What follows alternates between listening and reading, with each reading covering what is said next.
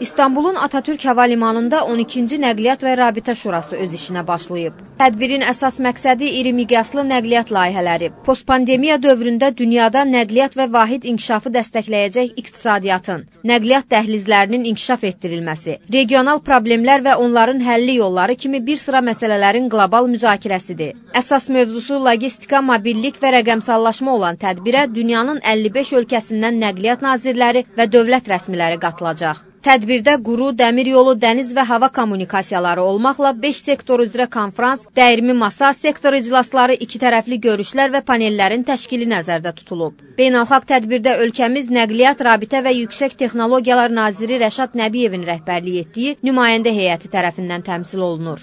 Tədbir çərçivəsində Azərbaycan, Türkiyə, Gürcüstan və Qırğızıstanın nümayəndə heyətlərinin iştirakı ilə keçiriləcək dörd tərəfli görüşdə İstanbul Deklarasiyası və Bakı-Tiflis-Qars dəmir yolu ilə bağlı protokol imzalanacaq. Bundan əlavə Azərbaycan nümayəndə heyətinin Türkiyə, Gürcüstan, Qazaxıstan və İran heyəti ilə iki tərəfli görüşlərinin keçirilməsi də nəzərdə tutulub. Bu barədə Real TV-nin Türkiyə bürosuna tədbirdə nümayəndə heyətimizin tərkibində iştirak edən Azərbaycan Dəmir Yolları Qapalı Səhmdar Cəmiyyətinin rəhbəri Cavid Qurbanov məlumat verib.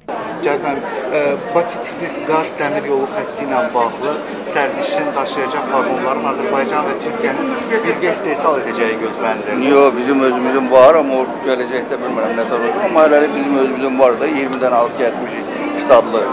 Bəs hansı görüşlərin keçirilməsi planlaşdırılır bugün? İki tərəfli görüşlərimiz da Türkiyə ilə, Gürcüstanla.